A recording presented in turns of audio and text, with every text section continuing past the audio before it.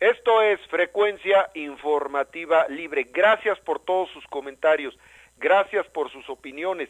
El día de ayer, bueno, y discúlpenos porque tuvimos un problema en este momento con el enlace digital, pero vaya, como sea, vamos a estar en contacto con todas y todos ustedes. Al fin y al cabo, lo que sobra ya son medios para eliminar la distancia. Y aquí estamos a través de la radio del sistema. El día de ayer tocamos el tema de las marchas justificadas, lo dijimos hasta el cansancio y lo vamos a seguir diciendo, justificadas para Sinapa, esa movilización que ocurrió en 60 ciudades de nuestro país con un justo objetivo, plenamente justificada la finalidad, la apoyamos todos. No se puede desaparecer una persona en este país así como así, no se puede hacer. Y mire usted que yo no soy de los, de los más convencidos en la situación de lo que hacen los normalistas, ¿verdad? Usted lo sabe, aquí lo he dicho y no lo he escondido y nunca, nunca lo voy a esconder. Pero también dijimos que lamentablemente esta movilización fue malamente utilizada por grupos de anarquistas que se dedicaron a causar daño. Hicimos una pregunta, o sea, ¿cuántas pinturas paredes pintadas, cuántos monumentos y edificios dañados, cuántos comercios dañados para que aparezca un joven. Ese no era el objetivo y no era la finalidad. Vandalizar no era el objetivo. Y hay opiniones de la gente, opiniones que quiero este, compartir con usted porque hay personas que no entienden. Escuche, este es mensaje de texto. Los jóvenes solo exigen sus derechos constitucionales pero se envenena la conciencia social mediante los medios de comunicación, tildándolos de criminales y revoltosos y vándalos que nunca estudian, pero no se dice que tenemos un narcogobierno que solo representa los intereses de los ricos y a los jóvenes los obliga a manifestarse porque no respeta los acuerdos pactados, al contrario los intimida, persigue y desaparece, como es sabido los asesina. Ya es tiempo de abrir los ojos y decir alto a la criminalización y la pobreza los jóvenes solo exigen sus derechos constitucionales. Oiga, a la persona que también, y no me puso su nombre, y los derechos constitucionales de nosotros y los derechos constitucionales de las personas que les dañaron sus negocios, ¿esos no valen? Por favor, por favor, también ustedes no nos quieran ver la cara a nosotros. Este mensaje de José Hurtado dice, supones, no intrigues está comprobado que son normalistas, no denigres al movimiento, por favor. José Hurtado dije, supongo estudiantes, y lo sigo suponiendo, y te lo digo y te lo mantengo. Supongo, porque ¿sabes qué hace un estudiante? Estudia, y estos se pasan más tiempo en la calle que estudiando, por eso lo supongo. Ahí va este mensaje, dice, si alguno de los normalistas fuera su hijo, ¿qué haría usted? Porque al parecer le preocupan más los monumentos y las paredes pintadas que las vidas humanas. No tiene que ver una cosa con otra.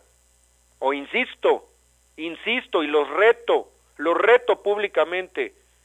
¿Cuántas paredes vandalizadas para que aparezca un joven y yo me pongo a pintar en este momento? Díganme en qué les ayuda. Los reto. Estoy lanzando un reto público y yo agarro en este momento un sprite y me voy a pintar paredes. Si es así, yo pinto paredes también. Este mensaje dice lo siguiente. JJ, espero que no seas defensor de todos los políticos, ya que son los culpables de que estemos en esta situación en el país. Cárdenas es otro desgraciado traidor. Peña Nieto, PRI, PAN, PRD, estamos cansados de sus arreglos por debajo con las mafias. Y eso de los anarquistas, mira, vale más la vida de los estudiantes que esos monumentos que no tienen valor, son solo piedra. No compares con que te quiten la vida nada más por decirle al gobierno, ya basta de tantas leyes estúpidas.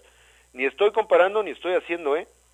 Los anarquistas no tienen ningún sentido y ninguna razón de lo que hacen. Y de lo que le pasó al ingeniero Cárdenas, yo nada más le voy a decir una cosa, muy sencillo. Además de todo lo que ha hecho y por todo lo que ha luchado, es un hombre mayor. Y quien se pone en una turba, en una bola, a gritarle, y a ofender a un hombre mayor, pues discúlpeme, es un cobarde. Es un cobarde, es un hombre mayor. Cualquier hombre mayor y mujer mayor merece respeto. Buenas tardes, soy politólogo. José Miguel.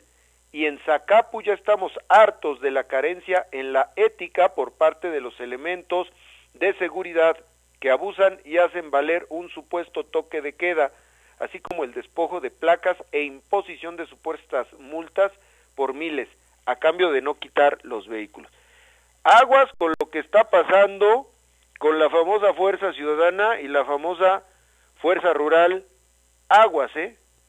Aguas con lo que está pasando, porque, hijo, man, hay de abuso. Aquí en Uruapan, no sabe de lo que me he venido a enterar, ¿eh? De lo que están haciendo. Aquí les dicen policías patito, de lo que están haciendo. Aguas, porque eso le va a reventar en las manos a quien lo está promoviendo. Ojo, ¿eh? Y fíjese que ya tenemos como dos o tres semanitas diciéndolo. Voy con un WhatsApp enviado por Artemio Toledo. Gracias, Artemio. A través de este noticiero solicitamos a las autoridades municipales la compostura del semáforo que está en la salida a Quiroga a la altura de la desviación a Coincio. Tiene más de una semana descompuesto y es un paso de la muerte. El gobierno es como un semáforo, o están apagados o están todos descoordinados. ¿Eh? ¿Qué tal? Esto estuvo buenísimo. Nos invitan al municipio de Ciudad Hidalgo a visitar los azufres Mata de Pinos y Pucuato, yo tengo ganas de ir, de veras, no sabe usted, pero me voy a echar una vueltita, ahora verá próximamente. Uriel, gracias, dice este mensaje, si los funcionarios atendieran la problemática y fueran honestos en dar soluciones sin mentiras y esconderse, aplazando reuniones, se aclararía el asunto del magisterio, y no se diga de los municipios en donde no existe la atención, al menos si no tienes amigos. Pero poco hablamos de justicia, ¿eh? Poco hablamos de justicia. Hola, señor JJ, Eduardo Arteaga de Uruapan. Felicidades por el programa. Seguimos viendo gente armada con ropa de civil en las entradas de Uruapan, que se supone ya no, ya no existen, que se supone. Puruarán, Giancarlo, gracias mi querido Giancarlo. Eh, dice, hola JJ desde Turicato, en la glorieta de Puruarán, los autodefensas exhiben a gente con la leyenda de soy ratero, mírenme bien, sean o no, pero está mal. Siguen este tipo de violaciones que de veras, de veras, de veras no debería de existir, ¿eh? De verdad. Aguas con lo que puede ocurrir en el estado de Michoacán. Dice, no hablen mal de los inventos que por algún motivo han hecho mal a la humanidad, puesto que algunos fueron desarrollados con la intención de, de ayudar Ok, muchas gracias. Este mensaje dice, ah, me lo mandan de Zacapu. En Zacapu también las cosas no van como avanzando bien, ¿eh? En fin, pero se los va, todo esto le estamos dando seguimiento a todo esto. Hola JJ, soy Fernando Ortiz de Ciudad Hidalgo, Michoacán. La industria turística en este municipio está en completo abandono a pesar de la riqueza natural que posee. Gracias por su atención y gracias al Estado de Michoacán por estarse reportando con nosotros. Antes de irme, hola, muy buenas tardes, señor Rosales. ¿De qué sirve que nos manifestemos en contra de los políticos y de lo que hacen con nuestros impuestos? Al final de cuentas, hacen lo que ellos quieren. Pregúntenle a los tacambarenses con la administración que nos tocó. Muchísimas gracias, Tacámbaro, muchísimas gracias. Lázaro Cárdenas, muchísimas gracias.